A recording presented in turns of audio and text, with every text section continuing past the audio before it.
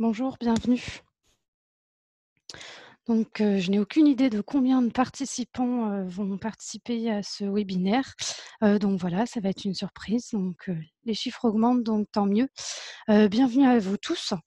Donc voilà, j'espère que vous m'entendez bien. Donc pour ceux qui connaissent, les webinaires que j'organise dans le cadre de la cartographie, des talents pédagogiques, donc je vous invite en fait à utiliser l'onglet, «Converser» heu, donc qui est en bas de votre page Zoom et à vous dire bonjour.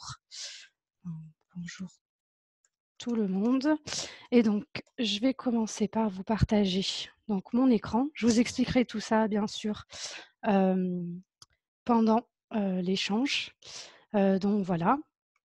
Donc écoutez, je vais juste pousser ma petite barre à moi qui m'embête. Heu, donc voilà, donc heu, le déroulement de ce webinaire, en fait, heu, je vais vous montrer un petit peu, le fonctionnement, donc le fonctionnement de Zoom. Donc donc voilà. Donc je vais vous montrer comment créer un compte.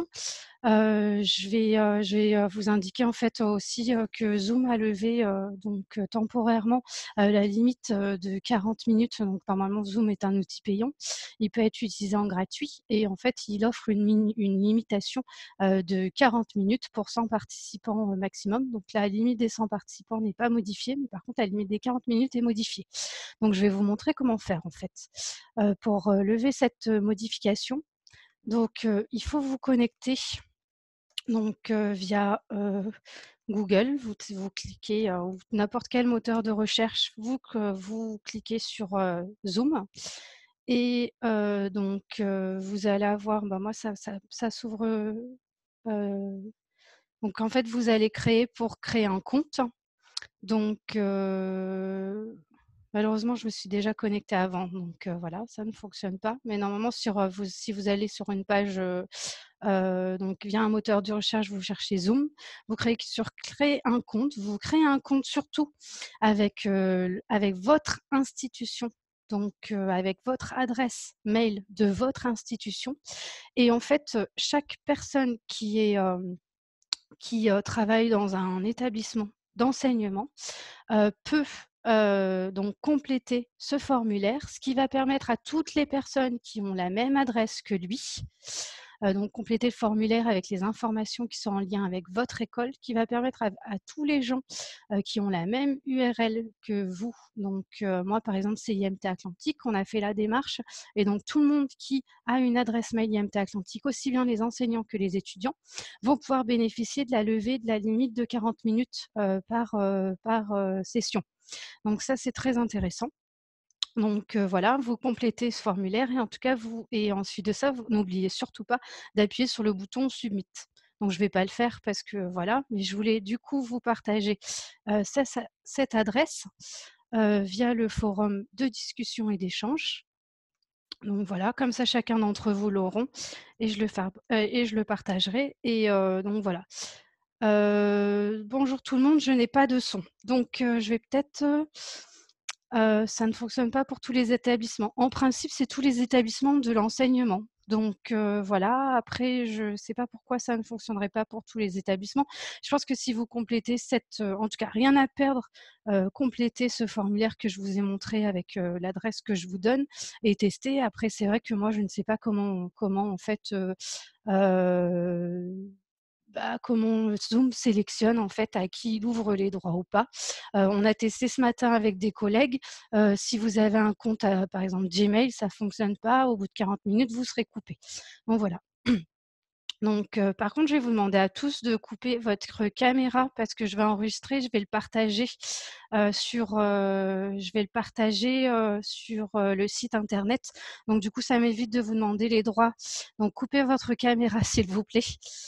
Heu, donc voilà, je vais vous montrer de façon après, heu, donc heu, les fonctionnalités. Donc ça, c'était pour la création de compte. Ensuite de ça, pour, que ça fonctionne et pour que ça fonctionne avec vos étudiants aussi, je vais vous, on vous invite et on vous recommande fortement, de télécharger, l'application. Donc voilà, coupez votre caméra s'il vous plaît parce que ça va me permettre de partager, heu, de partager avec tout le monde. Donc heu et du coup, donc voilà, on vous recommande fortement de télécharger l'application parce que c'est beaucoup plus fluide et ça vous permet d'un affichage beaucoup plus complet. En fait, tous vos étudiants peuvent vous voir dans les différentes dans les différents carrés que vous voyez apparaître à, votre écran. Donc voilà, en l'occurrence, vos caméras sont censées être éteintes, donc en l'occurrence, normalement, vous ne voyez que moi. Mais si les caméras étaient ouvertes de chacun, en fait, on pourrait tous se voir. donc voilà, donc en fait, télécharger l'application permet plus de fluidité. donc voilà, donc ensuite de ça, je vais vous montrer, donc on va parler d'usage aussi. Donc en fait, Zoom à la base, a été créé pour, c'est un outil en fait, plus de réunion. Donc, donc voilà. mais on peut aussi en faire un usage détourné. Donc en fait, ce que vous pouvez faire, c'est soit vous enregistrer en amont d'un enseignement, par exemple, et donc transmettre donc via votre le Moodle de votre établissement ou via votre site internet en fonction de comment vous fonctionnez avec vos étudiants, la vidéo pour éventuellement faire par exemple une classe inversée ou entre guillemets le, le côté transmissif est en asynchrone et vous profitez du côté du, du, temps en synchrone avec vos étudiants pour débattre d'une question, répondre plus en profondeur à leurs questionnements ou les faire travailler en équipe, etc. Donc on va le voir, Zoom aussi, donc nous on l'a découvert ce matin, offre des possibilités de, de faire travailler les étudiants en petits groupes. Donc voilà, je vais vous montrer, tout ça.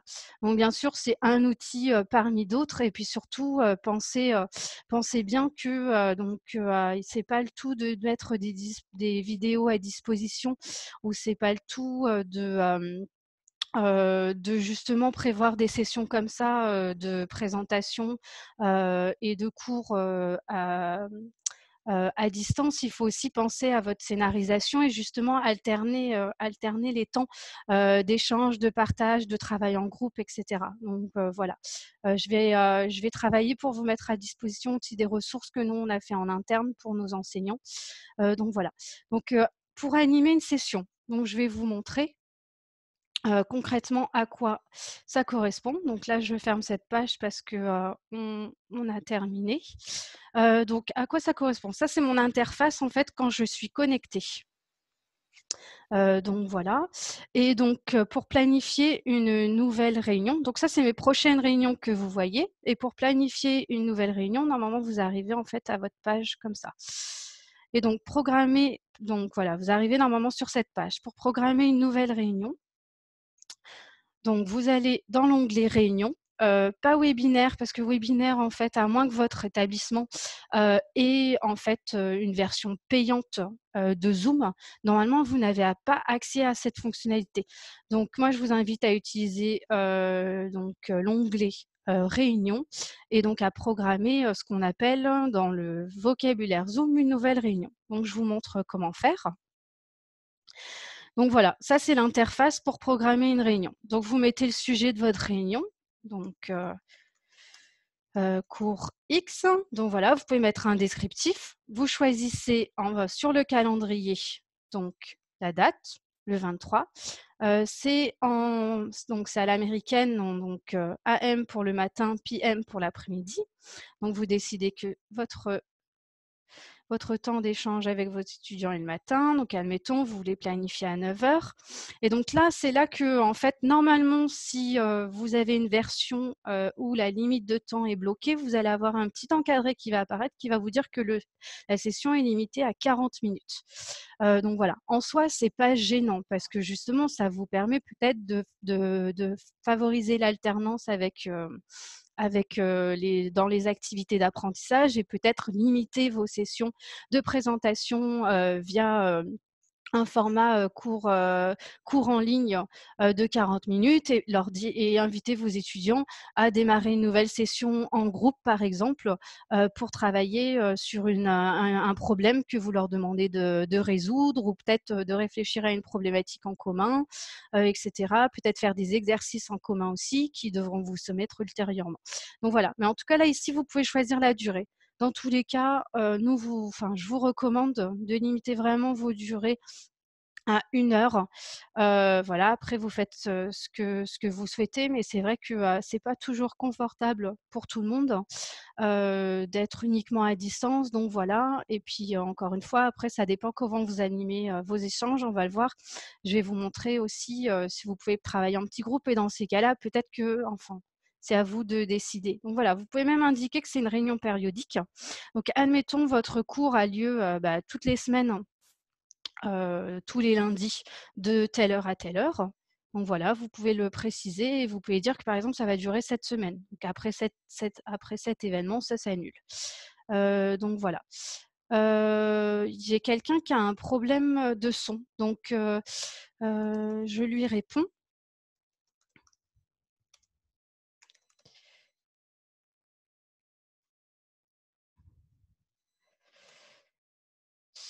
Heu, j'ai mon collègue aussi Julien qui coanime avec moi cet échange. Je m'excuse Julien, je t'ai pas présenté dès le départ, j'ai été dans le vif du sujet. Heu, peut-être que tu peux accompagner cette personne, heu, en mode privé. Donc donc voilà. Donc pour, le mot de passe, alors moi je vous dirais peut-être de pas vous embêter avec ça. Je finis peut-être, moi j'ai pas de récurrence. Donc voilà. Oui, il y a l'ID de la réunion aussi. Alors ça, c'est un choix personnel. Soit vous décidez que, en fait, toutes vos réunions, vous utilisez toujours votre, ID à vous, donc ce qui vous permet d'être identifié. Moi, personnellement, je préfère ne pas faire ça parce que, bah, j'utilise les webinaires, dans le cadre du collectif de la cartographie, des talents, donc Zoom, mais je peux l'utiliser aussi pour des réunions professionnelles. Et en fait, ce que je me suis rendu compte à l'usage, c'est que les gens aiment bien tester et c'est tant mieux. L'outil Zoom, donc souvent le lien que j'envoie, les gens y vont en amont de l'échange, heu, pour justement voir s'ils doivent pas télécharger quelque chose et cetera. Donc c'est très bien. Mais ce qui fait qu'en fait, si vous utilisez vraiment Zoom hein, dans plusieurs cas, bah, vous risquez d'avoir, si vous utilisez toujours le même ID, une personne qui va se connecter à une réunion auquel il n'est pas forcément invité parce que lui, il a envie de tester, mais que ça ne sera pas forcément le, même créneau que celui que vous avez utilisé. Donc, je trouve c'est un peu embêtant. En tout cas, je ne l'ai pas testé. Moi, je me dis, bah, par sécurité, je préfère créer automatiquement un ID à chaque... À chaque échange. Par contre, bah, la contrainte, et là encore, c'est à vous de choisir, c'est qu'en fait, à chaque fois, vous allez le voir, vous allez avoir une URL à envoyer aux participants. Donc voilà. Euh, le mot de passe, moi je vous dirais, euh, bah, à vous de voir, mais personnellement aussi, je ne m'embête pas avec ça aussi parce que bah il y a très peu, euh, il y a très peu de chances en fait qu'il y ait une personne qui tombe sur votre réunion par hasard. donc voilà, donc je vous dirais de ne pas vous embêter avec ça. Ensuite de ça, la vidéo. Donc la vidéo, vous pouvez choisir d'activer votre vidéo ou pas, et puis d'activer celle des participants ou pas. Donc là, encore une fois, réfléchissez. Si vous êtes cinq participants, ça vaut le coup peut-être d'allumer la vidéo de tout le monde automatiquement parce que vous allez voir, je vais vous le montrer après. En fait, chacun, et puis vous avez pu le tester, je l'ai vu en ligne, c'est que chacun peut décider d'ouvrir son micro et d'ouvrir, d'activer sa vidéo à tout moment quand il le souhaite, à moins que vous bloquiez les paramètres, et ça je vais vous montrer dans les paramètres avancés. Donc voilà, euh, donc moi en général j'active la vidéo pour l'animateur, je désactive pour les participants, et c'est en fonction de mon usage. Ensuite de ça, vous avez l'audio. Euh, donc l'audio, bah, avant Zoom avait les deux, je me suis rendu compte qu'ils n'offraient plus de numéro téléphonique hein, pour la France, donc je pense qu'ils sont saturés. Donc l'audio va se faire via l'ordinateur. Vous l'avez vu, j'ai un casque avec un micro. Dans l'idéal, c'est vraiment euh, le mieux et je vais vous montrer tout à l'heure, avant de démarrer une session euh, Zoom, euh, comment bien vérifier que c'est bien le casque, le son de votre casque qui va être pris en compte et non celui de votre ordinateur. donc voilà, Ensuite de ça, les options de la réunion. Donc, vous pouvez ouvrir l'accès à la réunion avant l'arrivée de l'animateur. Moi, généralement, je ne le fais pas parce que comme j'étais limitée à 40 minutes, ça me permettait de m'assurer que personne ne pouvait se connecter avant que moi je suis connectée. Ce qui fait que en fait, je bénéficiais des 40 minutes à partir du moment où je me connectais moi. Après, vous, vous pouvez toujours ouvrir l'accès à la réunion avant, avant votre arrivée parce que par exemple, vous pouvez créer une session pour quelqu'un d'autre. Ce qu'on recommande pas, parce que généralement, c'est mieux que ce soit la personne qui, qui, qui, qui, souhaite intervenir, qui crée la session. Ça évite des bugs éventuels parce que l'animateur finalement n'est pas présent et que du coup, il y ait des interfaces avec Zoom. Enfin bref, il vaut mieux être prudent.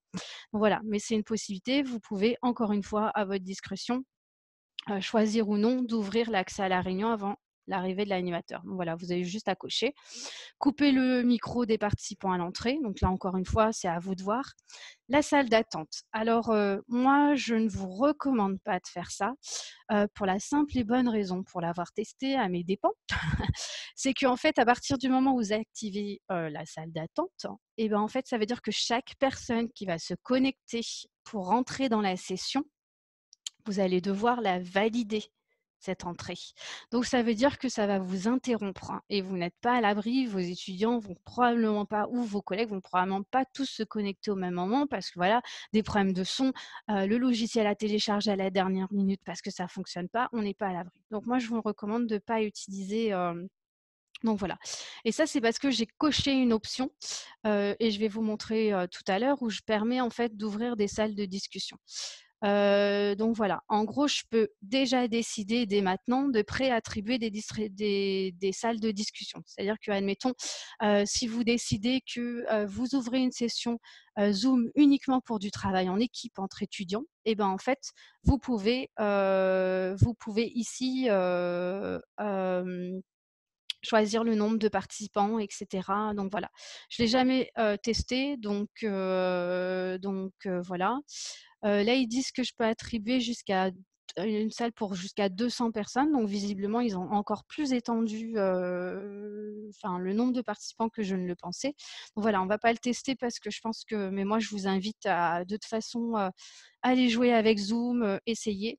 Et puis, alors surtout une chose, ce bouton-là, très très important parce que bah, probablement que vous enseignez aussi à des étudiants qui peuvent être repartis chez eux à l'étranger, qui peuvent être aussi bah, dans des régions où forcément l'internet peut, peut poser problème. Et puis, je pense qu'on n'est pas à l'abri dans les jours qui viennent que en fait le réseau donc soit saturé et donc que bah, ça bloque la fluidité du discours ou, la, même le fait que les personnes puissent y participer ou pas. Moi, je vous recommande fortement d'enregistrer toutes vos sessions.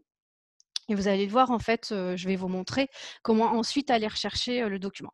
Donc voilà, là, je donc j'enregistre cette. Donc, je suis désolée, il faut que je bouge mes écrans pour avoir accès à toutes les fonctionnalités. Donc voilà. Et en fait, comme vous voyez, vous avez donc ça. C'est la confirmation que votre session Zoom est bien créée. Et donc, vous avez ici un petit bouton. Vous cliquez sur copier l'invitation et voici ce qui apparaît à votre écran.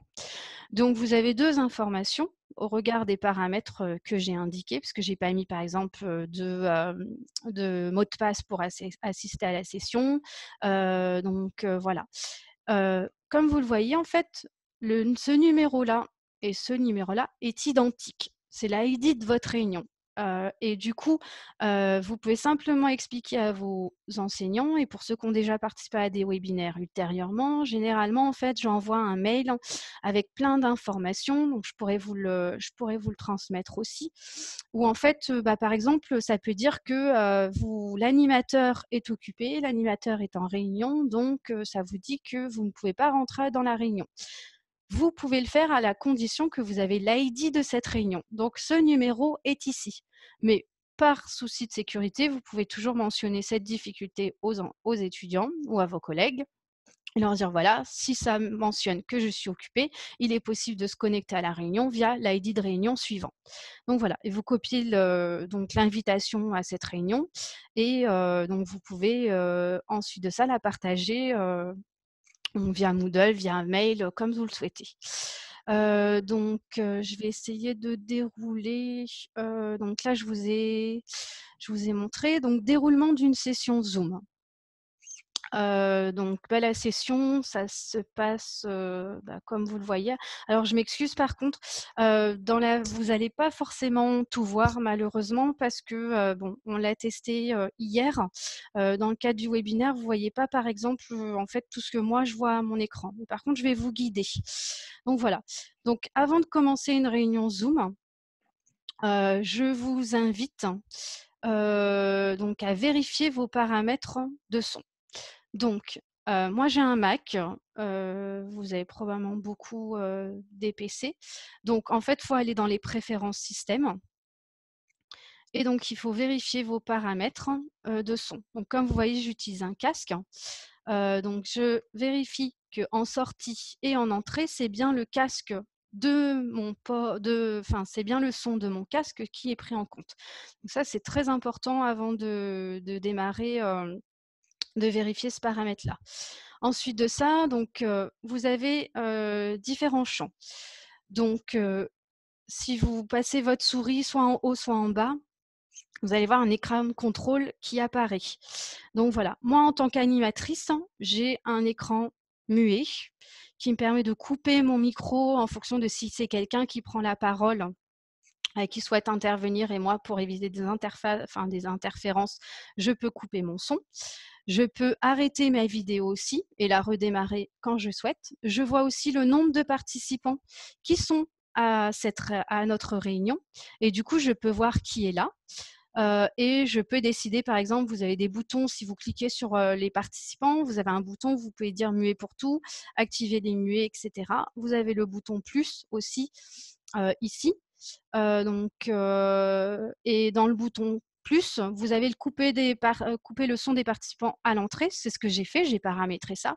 Permettre aux participants de réactiver eux-mêmes leur micro. Donc, moi, je l'ai coché. Ça veut dire qu'en fait, toute personne là pendant le webinaire peut décider d'allumer son micro. donc voilà, mais vous pouvez décider le cas contraire. Donc, ça, c'est dans les paramètres.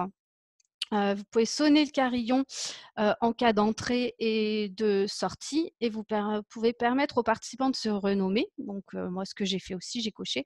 vous pouvez verrouiller la réunion. Alors ça, je ne l'ai pas vraiment fait, mais bon, voilà. ensuite de ça, je viens de penser qu'en fait, je ne vous ai pas montré les paramètres avancé pour les réunions de groupe. Donc là, on va tester. en fait, et de toute façon, vous inquiétez pas, ce webinaire est incomplet parce que malheureusement, je ne vais pas pouvoir tout aborder. Et de toute façon, il sera complété par des tutos qui seront mis à votre disposition. Donc, donc voilà. donc là, vous voyez à mon écran, en fait, c'est mon interface de, paramètres avancés. Donc, ce que j'ai fait, c'est que j'ai été donc, je suis désolée, à chaque fois, il faut que je bouge mes choses pour avoir accès. Donc voilà, en fait, je suis ici. Donc ça, c'est mon interface à moi. Et vous voyez, euh, tout à l'heure, on a vu réunion, webinaire. Vous avez paramètres ici. Donc vous cliquez dessus. Et en fait, voici tous les paramètres euh, que vous avez euh, par défaut. Donc en fait, même par défaut, vous pouvez systématiquement dire que vous voulez enregistrer les vidéos. Ça vous évite de cliquer à chaque fois pour chacune des réunions. vous pouvez, vous pouvez par exemple, dire que automatiquement, en gros, les participants euh, euh, peuvent participer à, la réunion aussi avec leur, leur webcam allumée.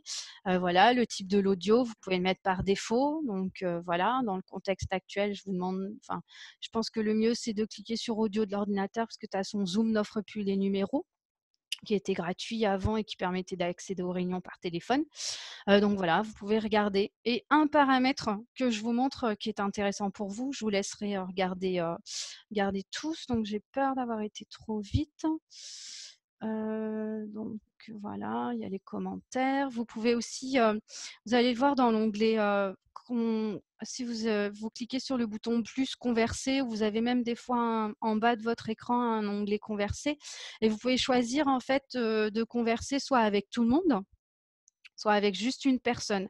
Et en fait, si vous ne souhaitez pas que, vos, euh, oui, concernant les paramètres, euh, vous, normalement, j'ai partagé mon écran, donc vous voyez ce qui, ce qui se déroule à mon écran. Par contre, en fait, oui.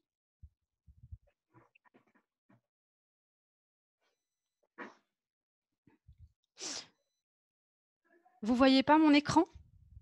Non, pas paramètres. Pas paramètres euh, Alors attendez, bah, j'arrête le partage et je recommence. On va tester. Hop. D'accord, merci. Voilà. Donc là, vous voyez bien mon écran. Je suis dans Réunion, l'onglet Réunion. Oui. D'accord. Et donc là, en dessous, il y a un bouton paramètres. Donc je vais aller dedans. Voilà. Est-ce que vous là, vous voyez vidéo de l'animateur, vidéo des participants? Là, on voit. Super. Bon, bah, je suis désolée. Oui, c'est bon. Pourtant, j'ai continué le partage, mais bon, tant mieux que vous m'ayez prévenu, comme ça, on continue. Donc, vous allez le voir, là, il y a plein de choses. Euh, donc voilà. Et euh, donc là, vous avez ce fameux petit bouton magique ici qui vous permet de faire des salles euh, en petits groupes. Et donc, si vous cliquez sur ce bouton-là, en fait, c'est tout à l'heure, voilà, j'ai mis ça. Si vous cliquez sur ce bouton-là et on va essayer de le tester avec cette réunion, mais je ne suis pas sûre que ça fonctionne parce qu'on ne l'a pas testé comme ça tout à l'heure. Mais au pire, si ça ne fonctionne pas, vous inquiétez pas. j'ai, on a préparé un tuto qu'on va vous, qu'on va vous, vous partager. donc voilà. Et du coup, bah, si je regarde mes paramètres, là, je ne peux pas le faire. Julien, ce matin, est-ce que tu l'avais fait en avance ou tu l'avais fait en live? J'interpelle mon collègue, je ne sais pas s'il m'entend. Bon, dans tous les cas, je vais vous. Mais en tout cas, ce bouton-là est vraiment pratique hein, parce qu'en fait, C'était en live. C'était en, live. Dessus... Comment? C'est en live. C'était en live. Et du coup, tu as été. En live, effectivement. Tu as été où là? En fait, alors tu es dans avancé, tu vas dans réunion avancée. Clique sur avancée. Là, tu es réunion base. Ouais, réunion, réunion avancée. Tu vois le, le, lien là, juste en dessous le lien bleu? Non, sur la gauche, sur la gauche, sur la gauche. Ah oui. Voilà, ici, juste en, bas, en bas, ah oui, Que, en fait, je vois pas parce qu'il y a nos petites, il y a nos mini euh, qui apparaissent. donc c'est pour salle ça. des petits groupes, salle de petits groupes. Donc là, je l'ai activé, donc c'est bon. Groupes.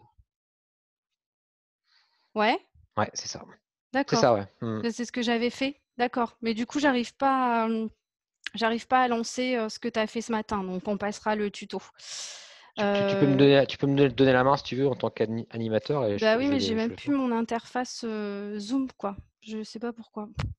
Je... Alors là, c'est les bugs de... du live, hein, je m'excuse. Ah, voilà, je l'ai. du coup, normalement, tu peux prendre la main, non? Je suis obligée de te, la donner Alors, attends. Euh, j'ai pas tous les outils, moi, parce que là, je suis pas animateur, en fait, c'est pour ça. ok, bah attends. Je vais encore une fois, il faut que j'enlève notre petit. Donc plus et je te nomme animateur. Voilà. Super. Donc là, je vais faire diviser en groupes. Donc on va se mettre en, par exemple, en quatre groupes de quatre, d'accord? Euh, donc, comme ça, vous allez voir comment ça se passe. Manuellement. Ouais, je pourrais le faire manuellement, je vais le faire automatiquement. Euh, après, voilà. Donc euh, c'est parti. Donc je vais créer les salles. donc là, j'ai là, j'ai en face de moi, vous pouvez pas le voir, mais je vois toutes les personnes, enfin tous les différents groupes qui se créent. Euh, et là, je vais cliquer sur ouvrir toutes les salles et ensuite je vais pouvoir vous rejoindre un par un. Je vais le faire, euh, je vais le faire ça va pas être très long parce qu'on n'est que quatre groupes. Voilà, donc je. Peut-être ceux qui sont. le numéro 1. Euh, voilà, donc là on est, dans, le premier groupe. et ensuite, alors pour rejoindre les autres salles, je vais faire diviser voilà. Après, je, vais, je vais pouvoir vous quitter maintenant. Vous voyez, vous êtes en petit groupe. Admettons, là, vous êtes en, train de collaborer ensemble. Je passe d'un groupe à l'autre pour voir. Et là, vous avez vu, il y a un chat euh, qui est privé. Et donc, euh, du coup, en fait, qui permet aux membres du groupe d'échanger juste entre eux. Et après, en fait, en tant qu'animateur, vous pouvez décider quand le groupe revient ensemble. C'est-à-dire que vous allez avoir une invitation qui va vous inviter, qui va dire que l'animateur souhaite que vous vous retrouviez tous ensemble. Donc ça, c'est quand même, quand même une fonctionnalité qui est, qui est bien pratique. Hein. Donc voilà, encore une fois, ça va être complété de toute façon par un petit tutoriel pour ce faire. donc, donc voilà. Du coup, Julien est parti dans l'autre groupe pour expliquer, pour expliquer la même chose. Et donc voilà, surtout n'hésitez pas si vous avez des questions pendant, pendant le webinaire, vous pouvez utiliser le, donc, l'onglet Converser pour échanger, pour vous, poser, pour vous poser vos questions. Parce que là, on va commencer, je vais finaliser le webinaire et ensuite de ça, on va, prendre, on va prendre vos questions. Et de toute façon, on n'aura probablement pas le temps de répondre à toutes vos questions. Mais mais on complétera de toute façon soit par, soit par des petits tutos, soit, soit par juste une fac, question-réponse. Donc voilà. Et vous voyez en, fait en bas de votre interface, toute personne qui fait partie du groupe peut demander de l'aide. Vous avez un petit point d'interrogation demander de l'aide. Donc ça veut dire qu'en fait, si c'est vos étudiants qui sont connectés comme nous on le fait, en fait, et s'ils ont besoin de vous, ils peuvent vous signaler qu'ils ont besoin de vous. Euh, pendant qu'ils travaillent ensemble. Donc voilà, ce qui vous permet en fait de voir qui a besoin d'aide ou pas et vous de naviguer entre les groupes. Donc ça c'est quand même une fonctionnalité qui est intéressante et du coup on l'a découvert ce matin, donc je voulais l'ajouter au webinaire d'aujourd'hui. donc voilà.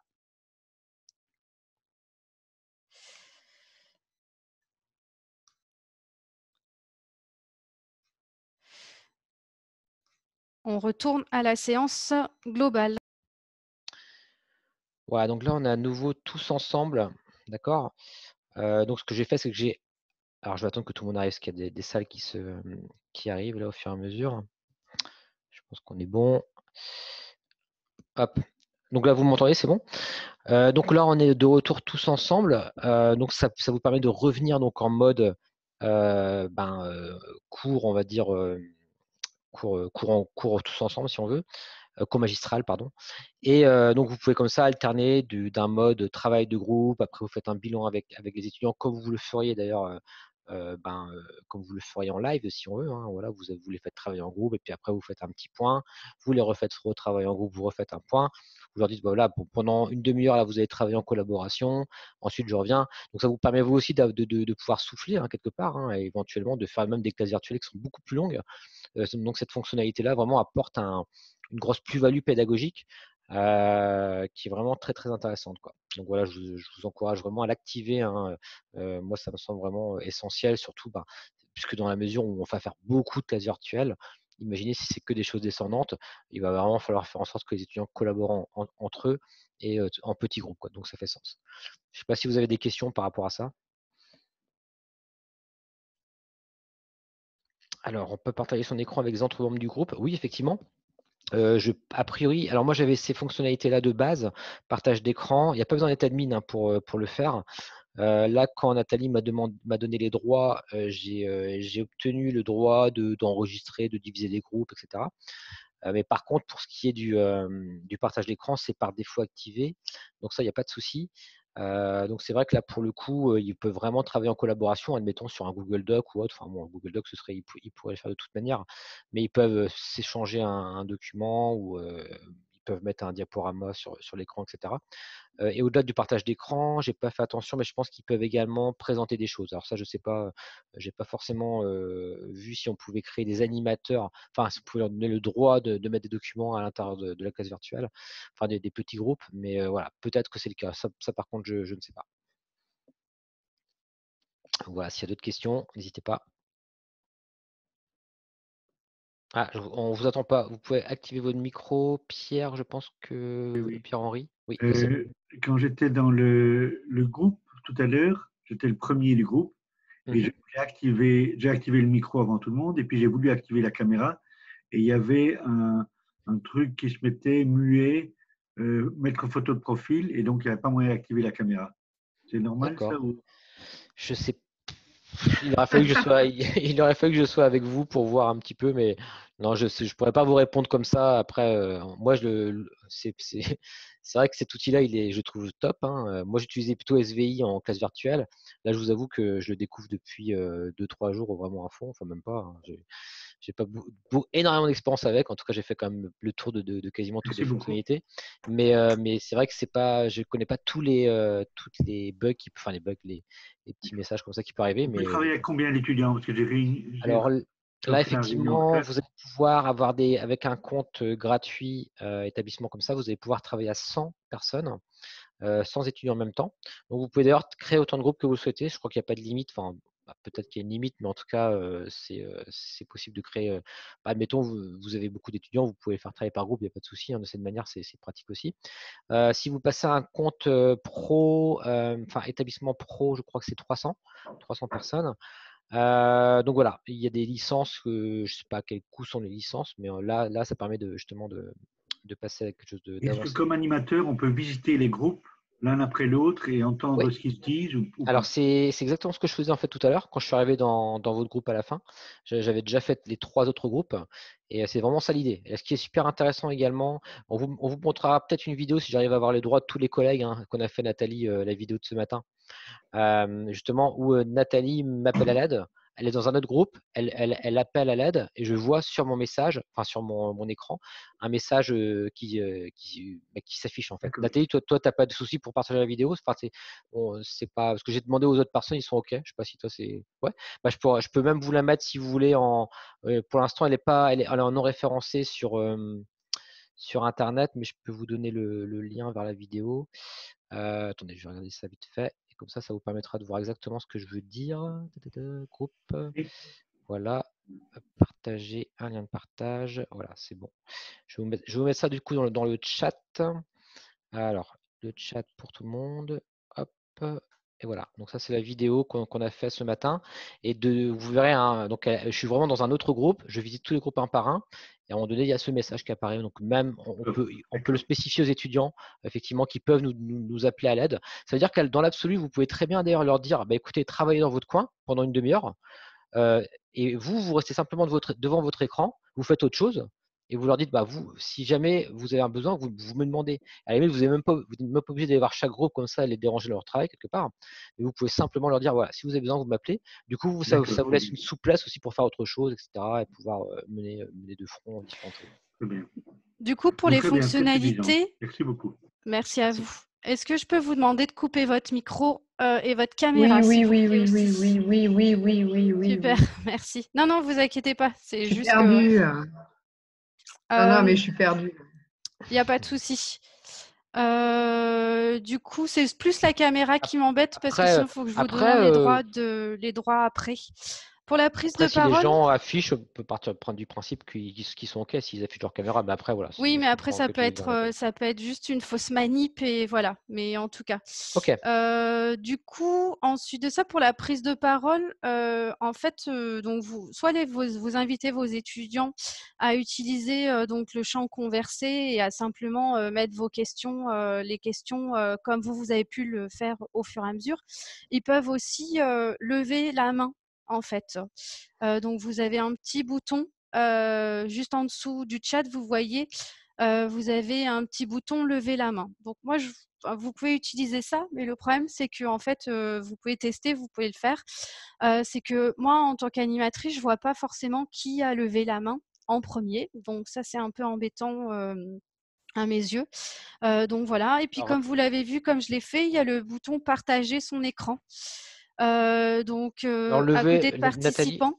Nathalie, lever la main, est-ce que c'est on le voit on le voit à côté du chat ou est-ce qu'on le voit au niveau des participants? Ouais, c'est il faut aller dans l'onglet si vous allez dans l'onglet converser. Moi j'ai été dans l'onglet participants.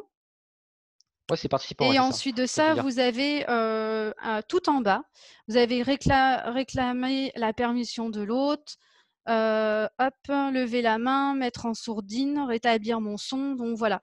Et donc là, ça vous permet, euh, ça vous permet de le faire. Donc là, par exemple, moi, je vais lever la main. Je pense que vous voyez que j'ai que levé la main. Donc, juste à côté de mon nom, vous avez une petite main. Il vient de le faire aussi. Donc, voilà. Vous pouvez même abaisser la main parce qu'admettons, en cours, euh, Sonia vient de le faire aussi. Et en cours, peut-être que bah, finalement, euh, votre étudiant se dit Ah, bah tiens, euh, bah, finalement, la personne a répondu, bah, j'abaisse la main. Comme ça, ça permet de voir. Donc voilà. Après, bah, le problème, c'est que moi, à mes yeux, c'est qu'il n'y a pas d'ordre en fait. C'est qu'on ne voit pas, bah, ça, c'est main numéro 1, l'autre main numéro 2, on ne voit pas l'ordre de, demande de prise de parole. C'est pour ça que moi, généralement, je demande d'utiliser le chat via le petit onglet converser. donc voilà. je pense pour le partage d'écran, vous avez vu, il y a un petit bouton partager votre écran. Donc, il y a une collègue de l'IMT Atlantique qui nous a parlé du tableau blanc, qui l'a testé. Vous pouvez tester cliquez sur le bouton partager votre écran sans le faire, sans aller jusqu'au bout. Mais en fait, vous, allez, vous, avez soit bah, votre onglet Internet si l'onglet Internet est ouvert, le desktop, tout votre bureau. Et vous avez le fameux tableau blanc aussi. Donc moi, je vais le faire pour vous montrer. Et en fait, ça vous permet avec votre souris bah, de dessiner, si vous voulez faire une formule mathématique ou si par exemple, voilà, vous voulez, vous voulez leur faire un schéma, par exemple. Bon, après, c'est pas très pratique avec la souris, c'est ce que l'enseignante nous a dit. Un petit tableau, voilà, où vous pouvez compléter des informations. Elle, elle a noté, elle a trouvé ça, elle a trouvé ça bien. on peut faire plein de choses, donc voilà, mettre du texte, hop, ici, hop, colonne 1 par exemple. Donc voilà. Donc ça aussi c'est quelque chose que je vous invite à utiliser, mais vous pouvez aussi utiliser euh, et partager une présentation. Euh, donc voilà, je peux effacer tout. Euh, donc voilà, et puis là je peux fermer. Donc je peux arrêter le partage et puis décider par exemple de partager autre chose. Donc je, je peux vous partager un fichier par exemple. donc voilà, où je peux vous partager bah, tout, tout mon bureau, par exemple. Donc voilà. Donc là, normalement, vous voyez, vous avez accès à tout mon ordinateur. Et donc là aussi, il y a une petite fonction que... Mince, j'ai encore le même problème que tout à l'heure, les interfaces Zoom. Je n'ai plus toute mon... Voilà j'ai retrouvé mon interface et en fait, vous pouvez annoter. Donc, par exemple, euh, bah là, euh, je peux faire projecteur et vous montrer quelque chose en particulier. Donc là, je souligne ce que j'ai envie de vous montrer. Euh, je peux annuler ce que j'ai fait. Donc, avec la donc voilà, donc là aussi, bah, je vous invite à tester. Je peux faire des dessins aussi, je peux mettre du texte. Donc en fait, vous pouvez compléter par exemple ce que les étudiants voient à votre écran. Donc voilà, dans une présentation par exemple, etc. Donc ça, c'est une fonctionnalité aussi qui est très intéressante. donc, donc voilà et en fait, bah là, il y a quelqu'un aussi qui vient de le faire, qui vient de tester. si vous ouvrez, en fait, il n'y a pas de souci, c'est bien, super. ça me permet de dire qu'en fait, à partir du moment où quand vous, vous paramétrez le fait qu'en fait, toute personne qui participe à votre session Zoom peut aussi annoter des choses, et ben en fait, tout le monde peut le faire. Donc voilà, donc c'est juste à savoir. donc voilà. bah, écoutez, je pense qu'on a, on a fait le tour. Ah oui, non, mettre en ligne la vidéo. Donc je vais vous montrer en fait comment ça se passe dans, au sein. donc admettons, vous venez de finir votre enregistrement. Donc, vous cliquez sur le bouton Mettre fin à la session pour tout le monde. donc là, on va aller dans mes documents. Et en fait, Zoom crée une... alors, attendez, je vais enlever... Zoom, en fait, vous crée des petits fichiers comme ça de toutes les sessions que vous pouvez avoir. Et en fait, ce que vous pouvez faire, c'est juste récupérer. Vous avez en plus toutes les informations du chat, donc vous avez l'audio seulement. qui est ici. Vous avez juste le chat en fait. En fait, tout ce qui s'est passé pendant l'échange, bah, vous pouvez le capter. On m'a demandé si on pouvait avoir les échanges qui se faisaient, par exemple, entre deux participants je ne suis pas sûre, je ne l'ai pas testé, je ne pense pas. Je pense que c'est plus les messages publics qui seront affichés et pas les messages que vous avez pu envoyer même vous en privé. donc voilà, donc c'est vraiment les messages qui sont publics que vous allez avoir. Le playback, et aussi bah, tout le complet, le MP4. Donc en fait, c'est là que vous pouvez aller récupérer votre fichier et du coup aller le mettre donc soit dans le Moodle de votre établissement, soit soit sur votre site internet, etc.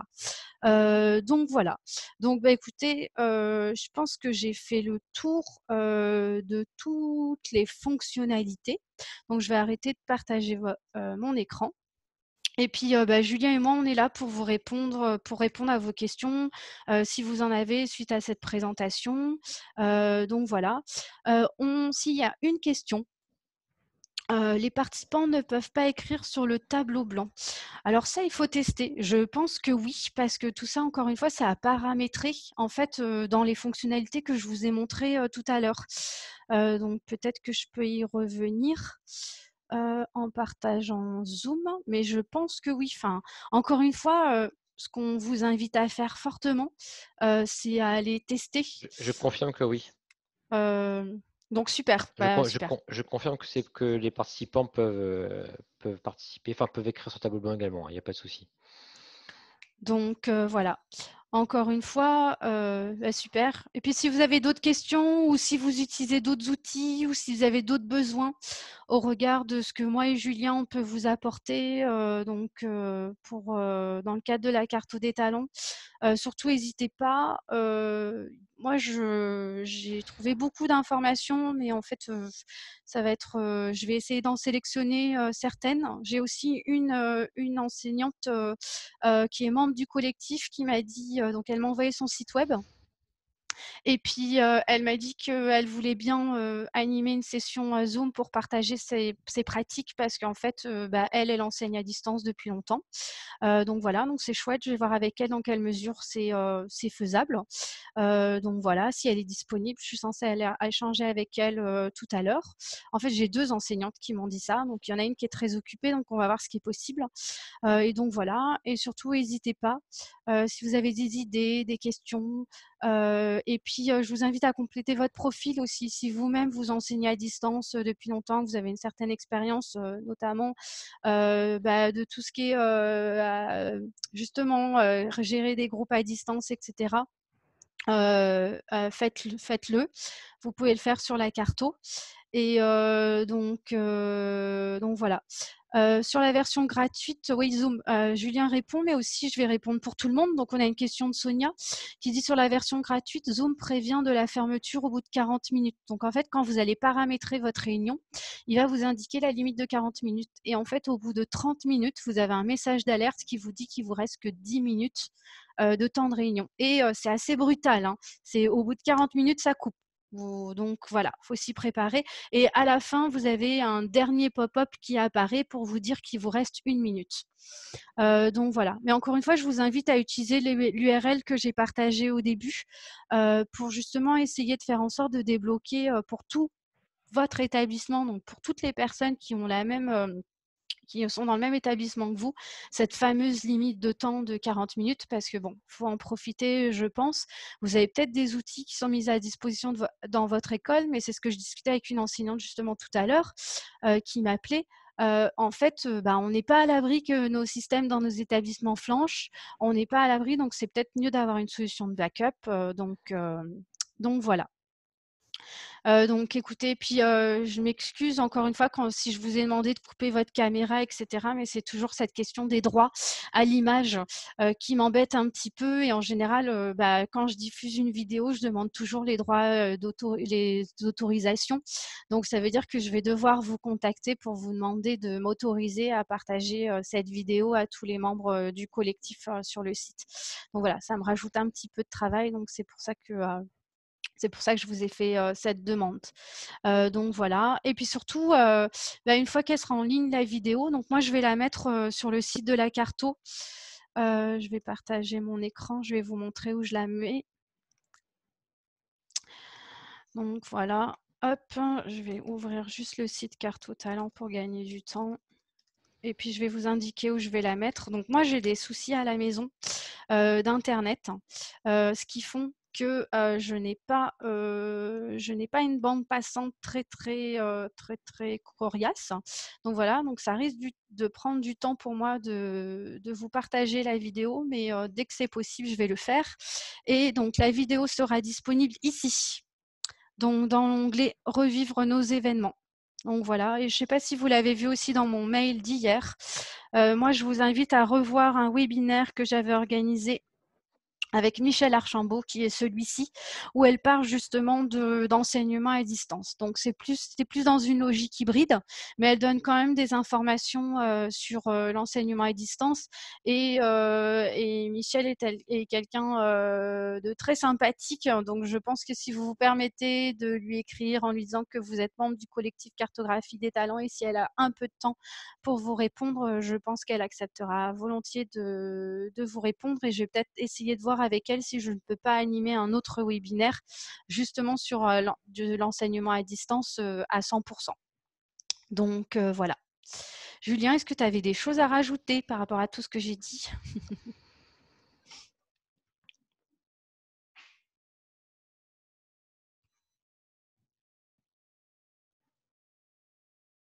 Est-ce que tu m'entends, Julien?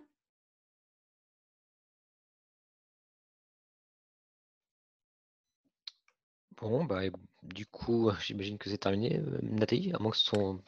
Oui, on a eu un petit problème. Je te demandais si tu avais des choses à rajouter. Ah oui, non, je ne t'entendais pas en fait. Euh, non, bah, ce sera tout. Euh, bah, en fait, en gros, oui, c'est vrai que juste une petite chose.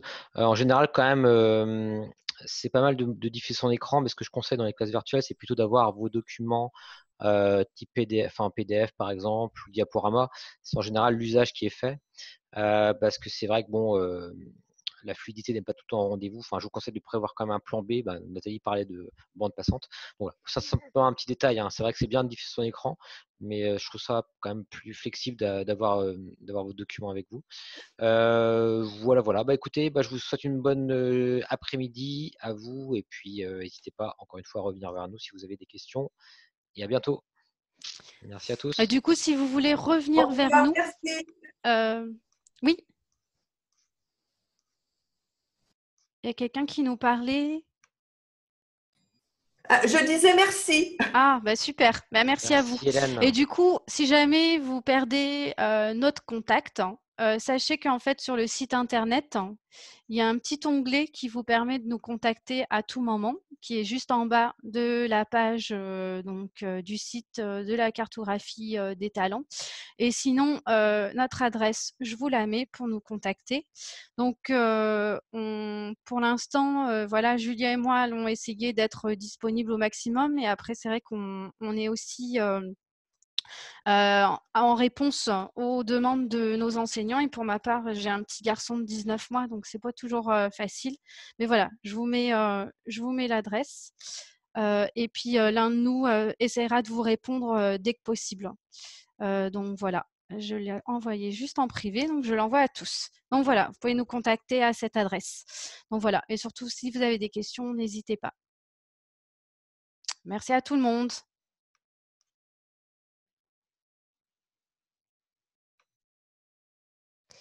Eh bien, je vous dis à très vite. Je ferme pour tout le monde. Donc voilà. Merci Julien.